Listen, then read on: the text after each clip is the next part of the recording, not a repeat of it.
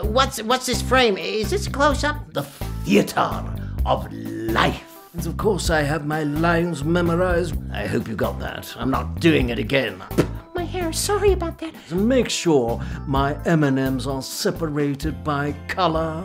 Ah! That is the neatest camera I've ever seen. I can only do perfection once.